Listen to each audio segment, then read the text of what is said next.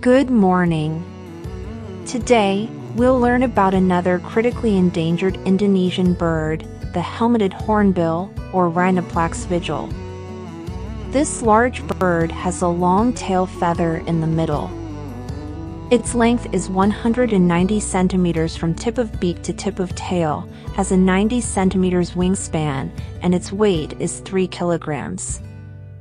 Males have a red featherless patch on the neck, while females have a bluish-white patch. It lives in lowland to semi-tropical forests with tall, big trees up to 1,500 meters above sea level. Its laugh is unique and can be heard from 2 kilometers away.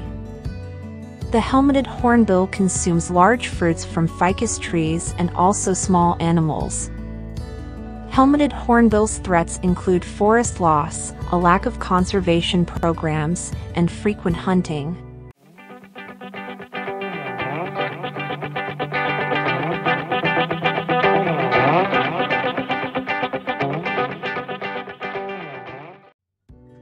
Good morning.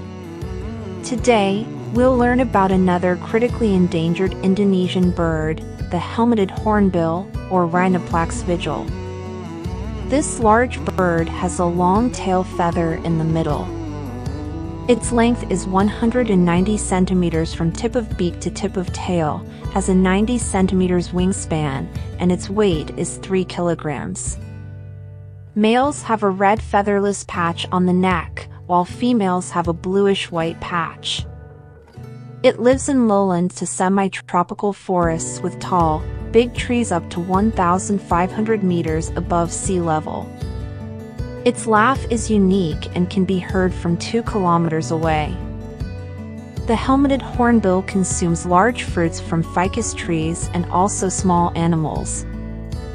Helmeted hornbill's threats include forest loss, a lack of conservation programs, and frequent hunting.